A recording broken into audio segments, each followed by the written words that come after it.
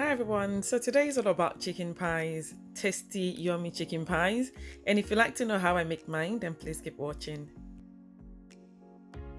So for this recipe I will be using chicken legs. I prefer chicken legs because they're quite juicy but you can use any other chicken parts that you so desire or you can just stick with chicken mince.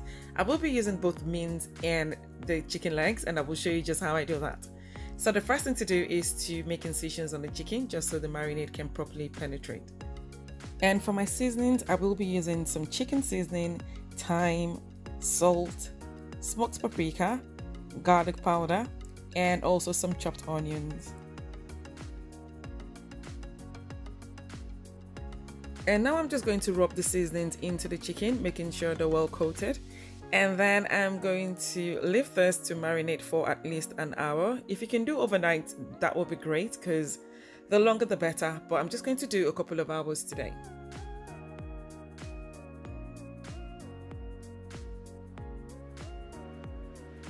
And for my beans, I'm going to be using turkey mince instead of chicken mince. I prefer turkey mince because they're juicier, but feel free to use chicken if that's what you've got.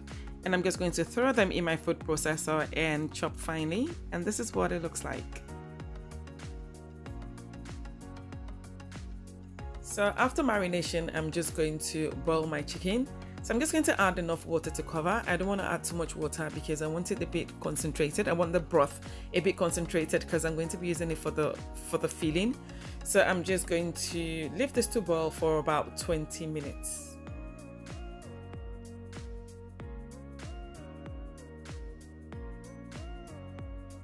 So it's been 20 minutes and my chicken is well done and I'm just going to set this aside.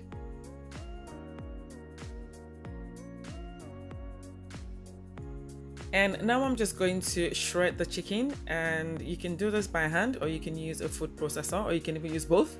So I'm just going to do it by hand first and then I will transfer into my food processor to make it a bit finer.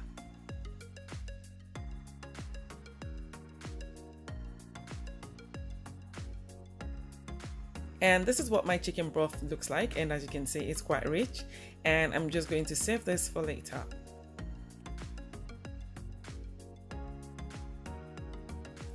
So depending on the size of your chicken pie, you can choose to do big chunks or you can do finer chunks.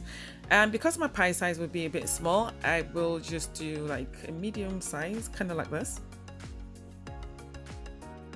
So just to save time, I have already chopped my potatoes, carrots, spring onions and purple onions.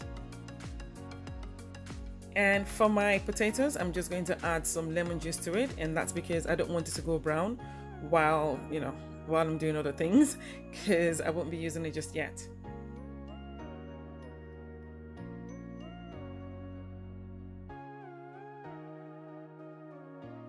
So into a pan, I will be adding some vegetable oil and when this heats up, I'm going to add some chopped onions.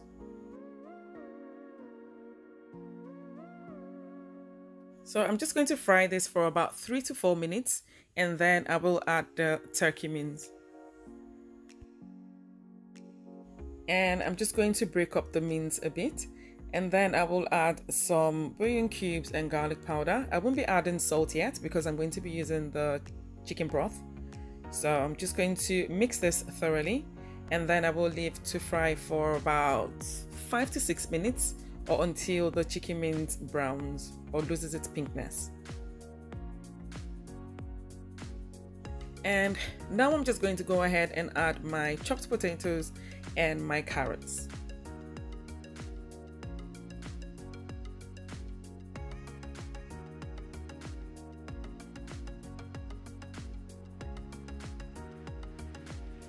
And I'm just going to add some chicken broth as well to this.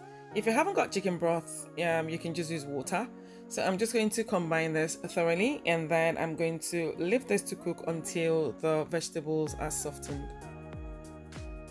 And while I'm waiting on that, I'm just going to make my corn flour slurry. So I'm just going to add some water into a cup and then I'm going to add some corn flour, mix thoroughly and then set aside. And I should mention as well that if you haven't got corn flour, you can use plain flour.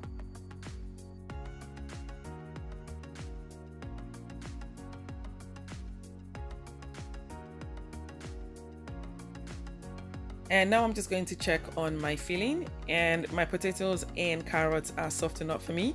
And now I'm going to add the shredded chicken and I'm just going to combine and then I'm going to add some spring onions.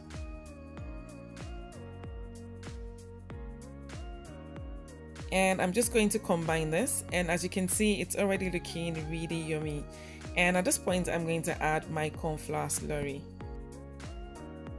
and I'm just going to continue to mix until I achieve the kind of consistency that I like which is creamy. And then I'm going to cover and leave to simmer for two minutes.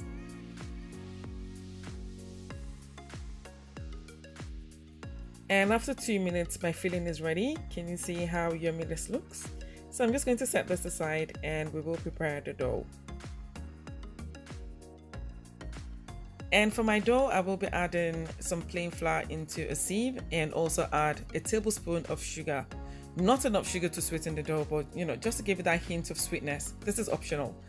And I'm just going to gradually sift this into the bowl. So I'm not using salt and that's because I'm going to be using salted butter. But if you're going to be using unsalted butter, then please add half a teaspoon of salt. And now I'm just going to add my butter and I'm just going to mix this thoroughly until I achieve a sort of crumbly texture. And at this point, I'm just going to add my milk and I'm just going to fold. Should I say fold? Because I'm not kneading. I'm just going to combine until I achieve a non-sticky dough.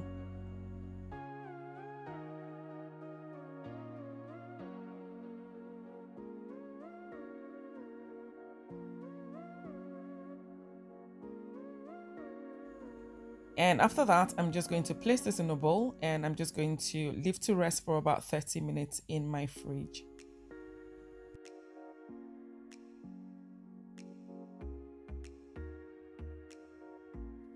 And now I'm just going to prepare my egg wash. I'm just going to break one egg into a bowl and I'm just going to mix it thoroughly and then set aside for use later.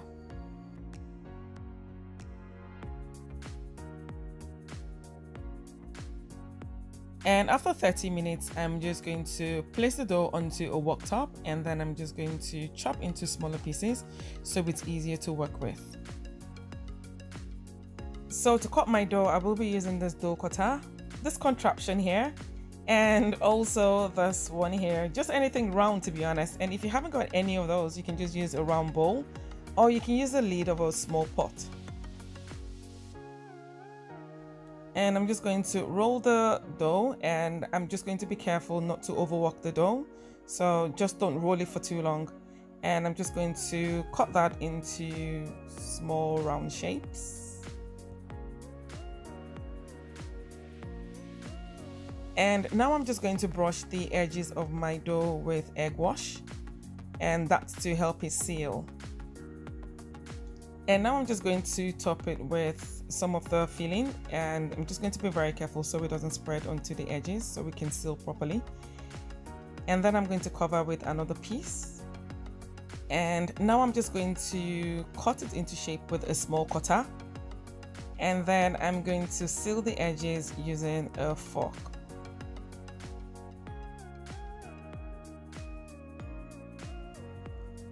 And that's it done. And because I'm choosing to be lazy, I'm just going to use this cut and seal here. So I'm just going to press that down and it will cut the dough into shape for me. And then I'm going to press the top, just press it down and that's going to seal it as well. Ta-da! See how easy this is? This is a lifesaver. I'm going to leave a link in the description box if you're interested in buying it. And now I'm just going to brush my my pies with some egg wash and then I'm going to use a fork to create some steam vents. And then I'm going to place this in my preheated oven. It's preheated to 180 degrees Celsius and I'm going to bake that for 30 minutes. And after baking just look at that. Just look at that the spies are all that and so much more. They are absolutely delicious, absolutely amazing. So if you do try this, you know the deal. Please leave me a feedback and please like and subscribe. Please subscribe to my channel. Please see you in my next video. Bye.